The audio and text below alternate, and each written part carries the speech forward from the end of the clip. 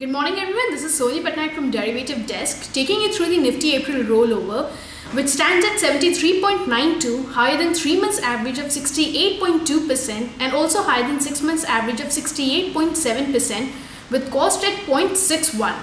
Market-wide rollover stands at 84.74 on Thursday higher than 3 months average of 81.94% and also higher than 6 months average of 81.12%.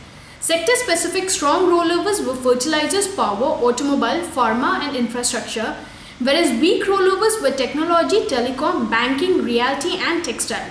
Stock specific strong rollovers were Glenmark, UPL, Divi's Laboratory, NHPC and Bosch Limited, whereas weak rollovers were UCO Bank, IOB, Godrej CP, Hindustan Zinc and Cummins. Options data of May series depicts highest call at 8200 and highest put at 7700. So option traders of May series can take benefit of Vega by forming short strangle with range of 7700 to 8200. Thank you.